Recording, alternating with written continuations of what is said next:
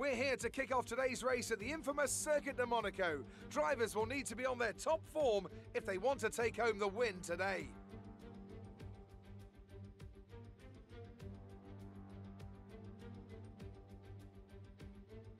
The prestigious Circuit de Monaco then. It's not all that dissimilar today to the layout that made its debut almost a century ago.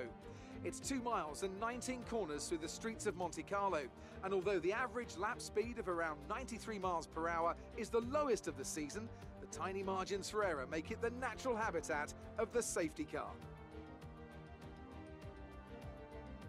And a warm welcome, of course, to my co-commentator here today, someone of tremendous experience and insight.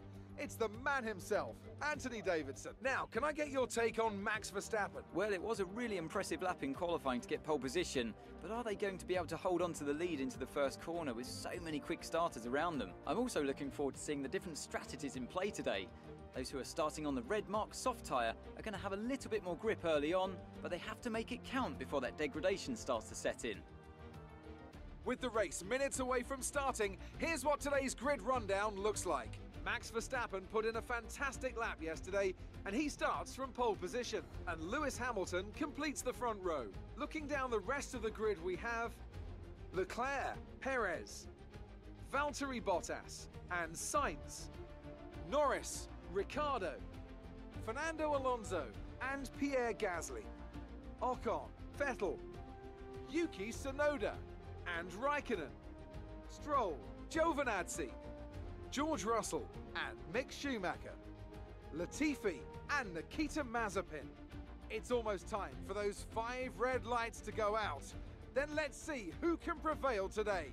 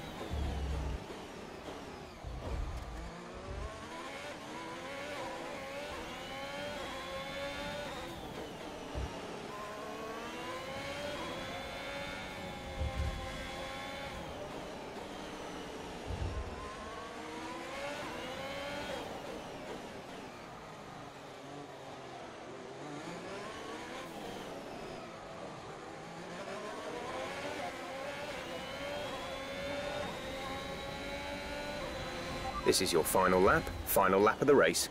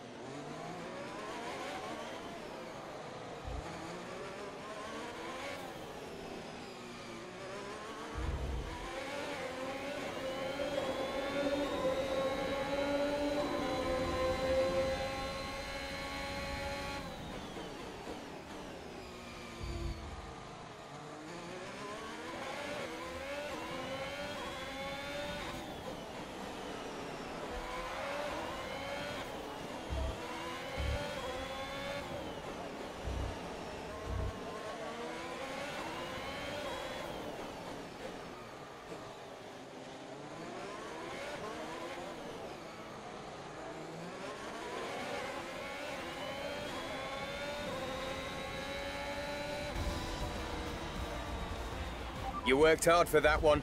Congratulations.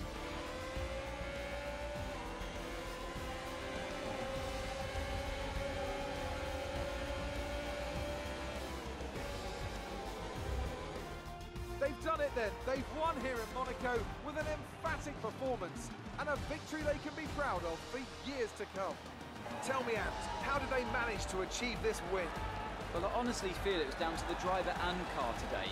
I mean, we can talk driver skill all day, but if you don't have a solid team to back that, you're never going to get anywhere. When you hit that sweet spot of having both an excellent driver and an incredible car, that's when you see results like those we witnessed today.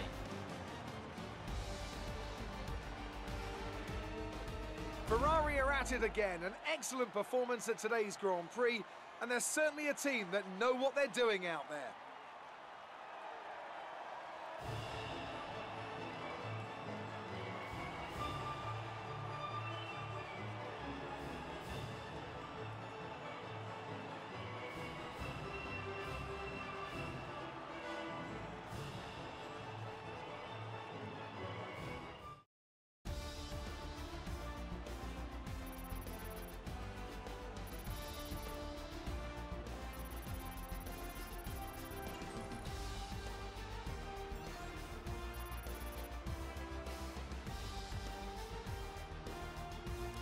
Charles Leclerc's points today take him to the top of the championship standings.